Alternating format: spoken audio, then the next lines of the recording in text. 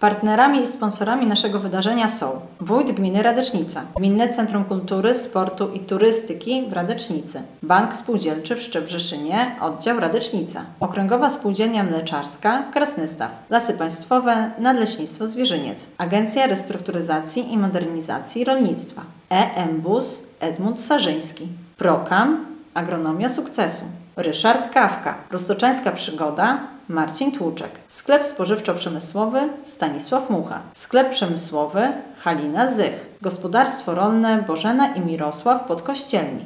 Gabinet profesjonalnego masażu leczniczego Magdalena Kurek. Roztoczańska Grupa Ratowników Drogowych Agnieszka Mielniczuk. Carving.